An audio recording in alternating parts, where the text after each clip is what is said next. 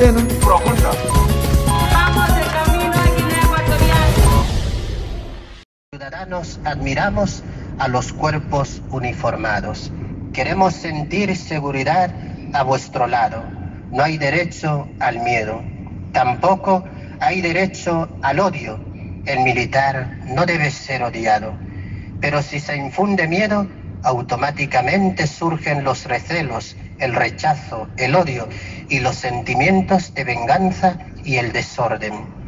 Así, no sanaríamos el pasado, sino que retrocederíamos hacia el mismo. No somos cangrejos, el cangrejo avanza y retrocede. Nosotros somos peregrinos y el peregrino avanza hacia una meta. El proyecto nacional, desde los orígenes de la República, es un proyecto dinámico, estar en marcha, en progreso, caminando, pisando las sendas de nuestra inmensa felicidad y todo lo demás del plan del himno patriótico o himno nacional. En una ocasión, como hemos escuchado en el texto del Evangelio, Juan Bautista predicaba sobre el arrepentimiento y la conversión y la gente acudía a él para consultarle sobre lo que tenía que hacer para hacer un cambio de vida, para ganar el perdón de sus pecados y heredar la vida eterna. En eso, un grupo de militares se acercó también, le preguntaron, ¿y nosotros qué debemos hacer? El profeta les dijo, no maltratéis ni denunciéis a nadie y contentaos con vuestra paga. Eso mismo, eso mismo os dice hoy a vosotros el Señor de los ejércitos.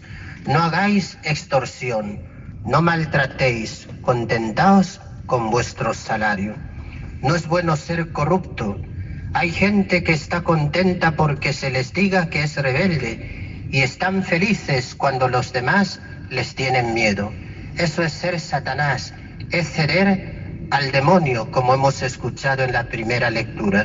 Y hemos dicho que el militar no es enemigo, sino protector, defensor, custodio.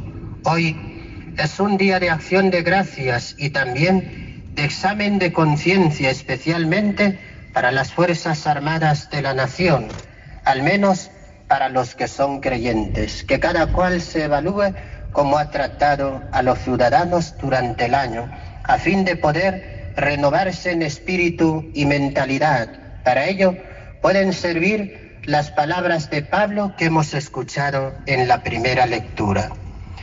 Eliminando la mentira, dice el apóstol, decíos la verdad unos a otros. El que robaba no robe más, antes bien que trabaje para poder socorrer al que tiene necesidad. Alejad de vosotros cualquier tipo de maldad. Sed amables y compasivos. A raíz de estas palabras del apóstol, puedes reflexionar estas preguntas. ¿Has, ¿Has, torturado a lo largo del año? ¿Has maltratado? ¿Seguirás usando la extorsión? ¿Te has contentado con tu paga o has exigido dinero a los ciudadanos? ¿Seguirás robando? La salvación comienza con el cambio de mente, con la conversión. El cristiano ha descubierto una máxima realidad, por tanto, no puede seguir el patrón del mundo, la forma de vivir de los que no conocen a Dios. Hay que tratar bien a los extranjeros y no verlos siempre como un peligro. Sacarles dinero, aprovecharse de ellos es acumular desgracias. Todos alguna vez viajamos a otro país y no nos gustaría ser extorsionados, ser maltratados o estafados con malicia. Hay que tratar bien al hermano expatriado. Y los extranjeros también deben comportarse bien y agradecer el país que les acoge, respetando los valores patrióticos, lo mismo que los sentimientos culturales y religiosos del lugar. El militar vela para el para el orden. En la Constitución Apostólica Spirituali Militum Cure, el Papa Juan Pablo II nos recuerda que los que forman parte de las Fuerzas Armadas deben considerarse como instrumentos de la seguridad y libertad de los pueblos, ya que desempeñando bien esta función contribuyen realmente a estabilizar la paz. Hay militares que se comportan estupendamente y son dignos de nuestro elogio y de nuestros aplausos.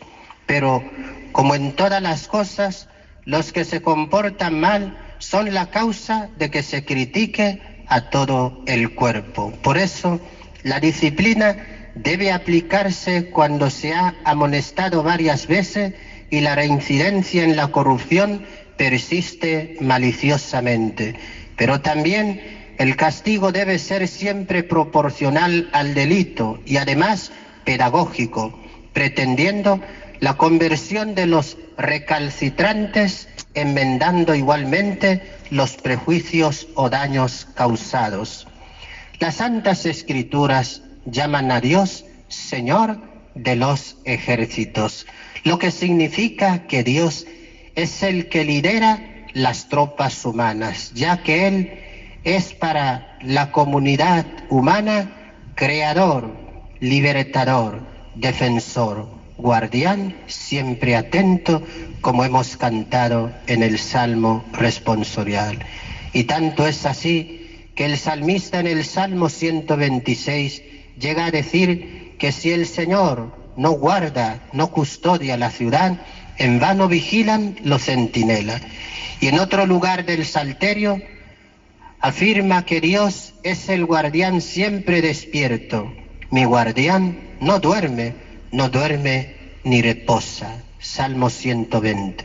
Esto significa que el hombre no puede confiar sin más, sin más en sus propias fuerzas y habilidades, sino confiarse en Dios. Tú cuidas como militar a los demás y Dios también te cuida. El Señor es tu guardián, está a tu derecha, te guarda de todo mal. Él guarda tu vida ahora y por siempre. Por tanto, queridos hermanos de las Fuerzas Armadas, rendid homenajes a Dios, el Rey de los ejércitos. Él es vuestro primer superior, jefe supremo de vuestros escuadrones, capitán de capitanes, general de generales, rey de reyes y señor de señores.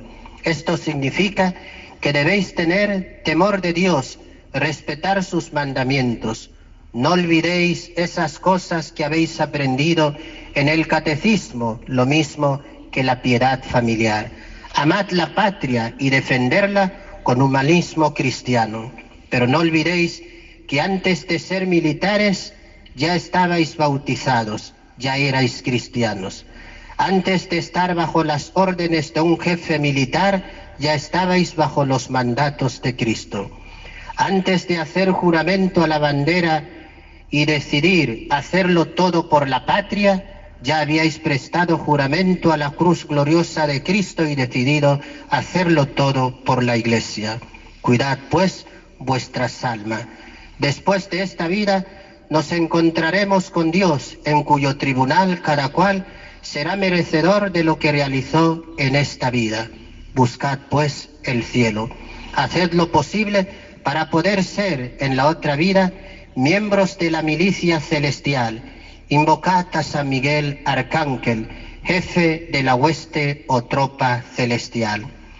A lo largo de la historia siempre ha habido militares nobles que se han distinguido por su sentido humanitario e igualmente por su respeto a Dios y a las realidades sagradas. Siempre que celebramos la misa, como hoy también, antes de comulgar solemos repetir esta jaculatoria de humildad. Señor, no soy digno de que entres en mi casa. Basta que digas una sola palabra y mi criado quedará sano. Esto lo dijo un centurión romano, un pagano que no era cristiano, aquel militar. Y la frase completa es esta, Señor, no soy digno de que entres en mi casa, basta que digas una sola palabra y mi criado quedará sano. También tengo un superior y soldados a mis órdenes. Si le digo a este que vaya, va, al otro que venga, viene. Y la Biblia dice que Jesús se admiró de estas palabras del militar y entonces dijo a los que estaban con él, os lo aseguro, una fe semejante no la he encontrado en ningún israelita. Que Jesús no vaya a decir del cuerpo uniformado eso que dice aquí de los israelitas. Antes bien, os dé a vosotros los hermanos militares una congratulación como la que hace al soldado romano. Por lo demás, este centurión romano dice cosas importantes. Los soldados que están a sus órdenes le hacen puntual caso. Así debe ser. El militar, como el sacerdote, vive bajo disciplina, es hombre de obediencia, pero obediencia responsable, pues la Biblia dice que nadie debe, debe hacerse cómplice de pecados ajenos.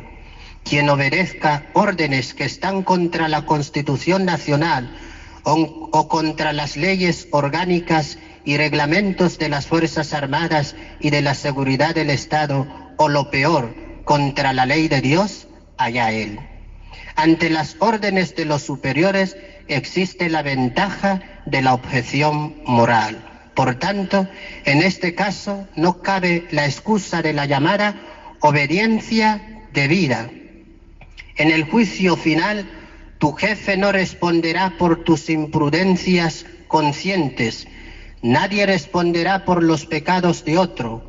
Un militar e incluso cualquier ciudadano está obligado a desobedecer órdenes ilegales o inmorales.